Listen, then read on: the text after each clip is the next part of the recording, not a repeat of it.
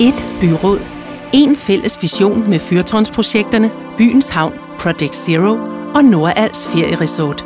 Og seks udvalgte visionsområder for fremtidens Sønderborg.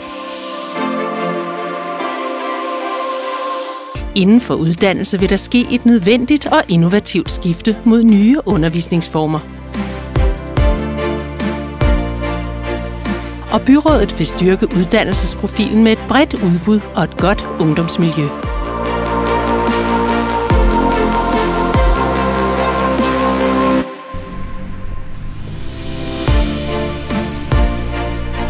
Velkommen til.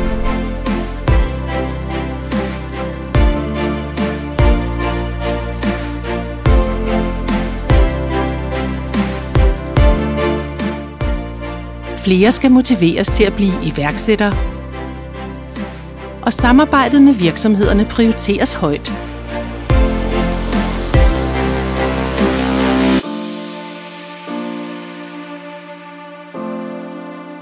Byrådet vil gå forrest med den grønne omstilling og videreudvikle Project Zero.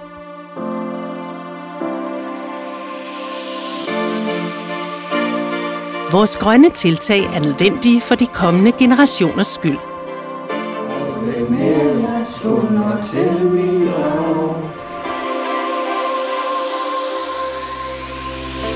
Når man lever længere, skal der arbejdes mere effektivt for at få overskud til velfærd.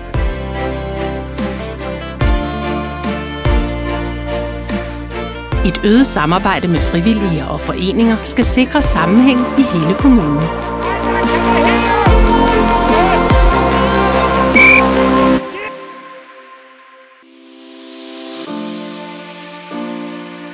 Vi skaber rum for nye store oplevelser for lokale og turister.